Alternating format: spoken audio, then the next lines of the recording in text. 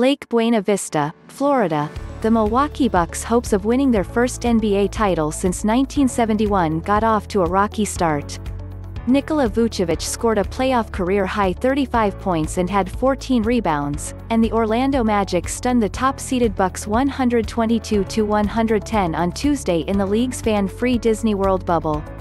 Terrence Ross scored 18 points, Gary Clark added 15 and DJ Augustin had 11 points and 11 assists for the 8th-seeded Magic, who were 14-point underdogs.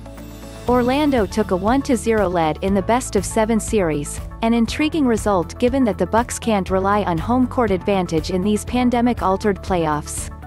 We don't care what other people have to say, Vucevic said. We focus on ourselves and we came out and played a great game on both ends of the floor. Giannis Antetokounmpo finished with 31 points, 17 rebounds and 7 assists for Milwaukee.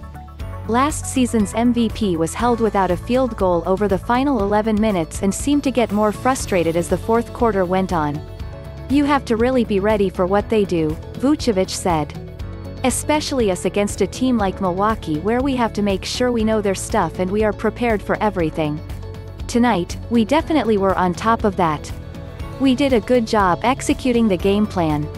The Bucks came into the postseason as the favorites to win the NBA title. But they went 3-5 in seeding games in the bubble, and that sluggish play carried over into the postseason. George Hill said the Bucks needed to do some soul-searching, Antetokounmpo didn't go that far, saying the Bucks' energy level was fine, but that they need to make more shots. Milwaukee made 43% from the field and was 14 of 42 from three-point land. There's no magic wand to point and things are going to change, Antetokounmpo said. You've got to come out, play hard, play even harder, play together and have fun. Milwaukee swept the season series against Orlando, winning four games by an average of 17 points, but struggled with the Magic's stingy defense, which caused 16 turnovers and repeatedly clogged the lane, forcing Antetokounmpo to settle for jump shots.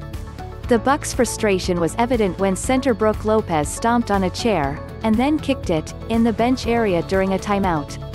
Obviously, our main focus was try to make it hard on Giannis, to protect the paint, Vucevic said.